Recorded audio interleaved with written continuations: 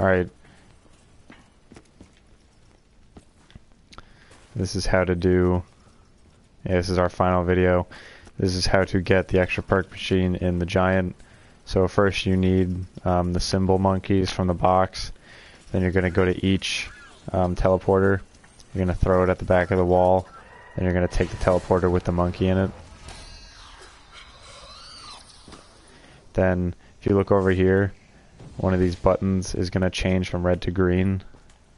Um, so you do that in each one. You get all three buttons green, and then you press the main button next to it, and you get the extra perk.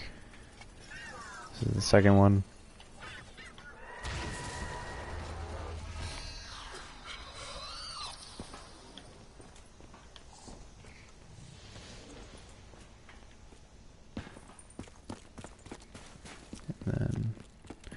Go in here to this teleporter. And this is the last one.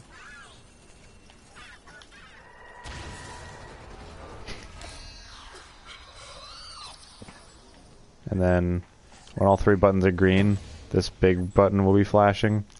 And then you hold square.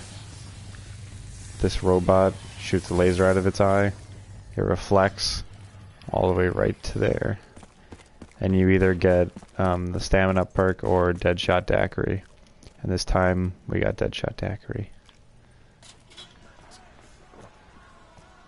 So this is basically just like an aimbot. Where's the zombie? So like when I zoom in, it'll go straight to their head. See?